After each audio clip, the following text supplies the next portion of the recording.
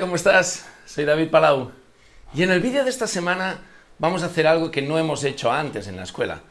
Te he enseñado a solfear, a entender el solfeo, a leer un poco las notas, te he enseñado el valor de las notas, te he enseñado un poquito los fundamentos. Hay más vídeos en camino desarrollando eso.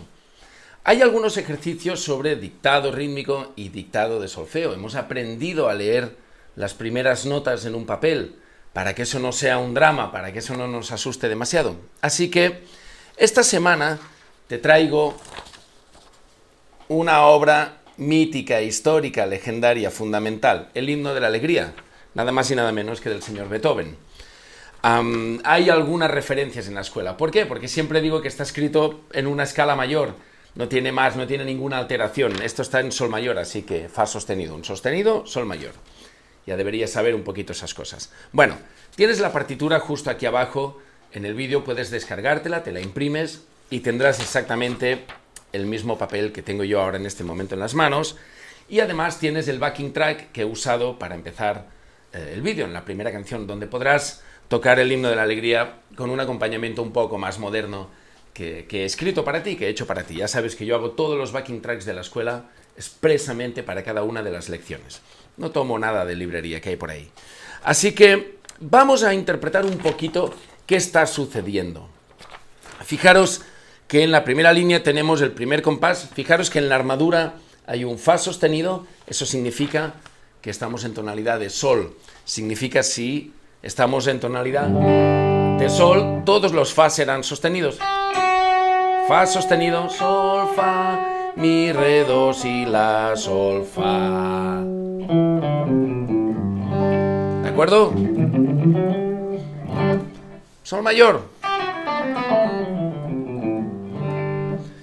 Ya a estas alturas debes aprender a localizar tu escala, aprender a que esa escala tiene un sostenido y aplicarla en, pues en, la propia escala. Así que estamos en sol mayor. Pero lo importante es la melodía. No estamos, ah, bueno, me sé la escala, me sé la pentatónica y ya voy. No. Esta vez nos toca leer, nos toca interpretar un papel. Así que, fíjate, en el primer compás tenemos si, una blanca, ya sabemos que estamos en compás de 4x4, o sea, esto es 1, 2, 3 y Así que la blanca será un, dos, eso es ti, ta, ta, ¿de acuerdo? Ya hemos leído la parte rítmica. Segundo compás son cuatro negras, un, dos, tres, y, ta, ta, ta, ta. Y en el cuarto compás nos encontramos una negra con puntillo y una corchea. Si repasas el vídeo de los puntillos, el puntillo significaba que la nota que estás tocando, o sea, el sí, esta negra sí, lo que va a pasar es que durará medio tiempo más de lo que es la nota. O sea, si es una negra, medio tiempo, la mitad de una negra es una corchea. Así que están, este sí durará una negra y una corchea, un tiempo y medio. ¿De acuerdo? esto será ta, ta, ta.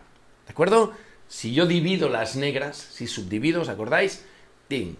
1, 2, 1, 2, 1, 2. Esto será la corchea. 1, 2, 3 y 1, 2, 3. O sea, dos corcheas, una negra, tres corcheas, una negra y medio. 1, 2, 3, ta, ta. ¿De acuerdo? Así se leerá el compás. Si, la, la, ¿De acuerdo? Si, la, la, Así que si leemos rítmicamente, Toda la primera línea tendremos si, do, re, re, do, si, la, sol, sol, la, si, si, la, la. Fijaros que pone, hay dos barras y dos puntitos. Eso significa que repite, que vuelve al principio y repite esta parte. Una vez has llegado aquí, repite al principio. También date cuenta de que en el compás número 4 arriba hay una especie como de, recuadro y pone primera vez. Y luego pone segunda vez. Eso significa que la primera vez que estamos leyendo tocaremos este compás, pero cuando repetimos y vamos al, principio otra vez, al volver a llegar aquí ya no tocaremos este compás, sino tocaremos el siguiente. Por eso pone segunda vez. ¿De acuerdo? La primera vez se toca este, la segunda vez que pasas por aquí saltamos y tocamos ese. Así que en la primera vez hace si, la, la, y en el segundo hace la, sol, sol. ¿De acuerdo? Esto es la primera línea. Bien, pero ahora vamos a hacerlo con el instrumento. Así que si agarras tu papel y hace... Aquí tenemos el si. Recuerda las escalas musicales. Si, do, re. Vamos a localizar primero dónde están nuestras notas. Si, do, re. Las notas que vamos a necesitar para tocar. Ok, luego veo re, do, si, la, sol. Estoy en sol, tercera cuerda al aire, la, si es segunda cuerda al aire, do y re. Para tocar esta primera línea solo necesitamos estas eh, pues cinco o seis notas. Así que vamos a empezar.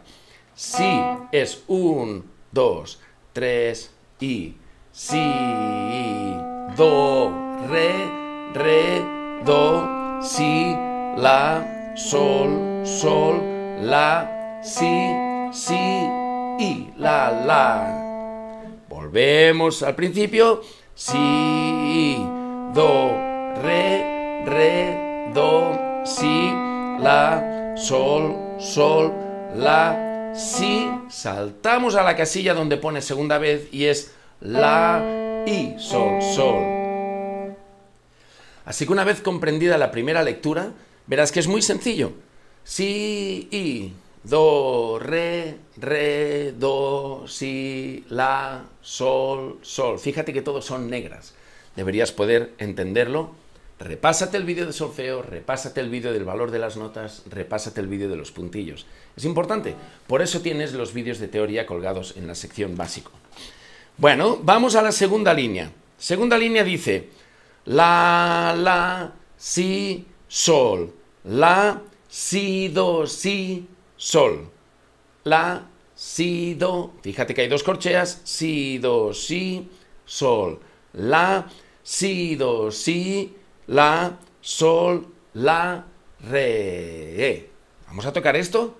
Dice, la, la, si, sol, la, si, do, si, sol, la, si, do, si, la, sol, la, re.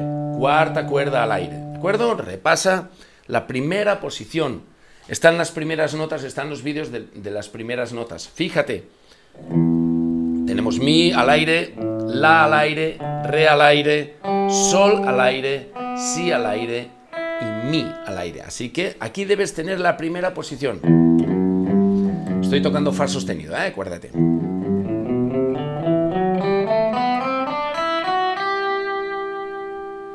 Sin mover la mano de tu primera posición, encuentras las notas de sobra para este ejercicio. Vamos a la última línea, dice si, si, do, re, re, do, si, la. Voy a afinar contigo. Si, si, do, re, re, do, si, la, sol, sol, la, si, la, sol, sol, ¿de acuerdo? Tres y si, si, do, re, re, do, si, la, sol, sol, la, sol,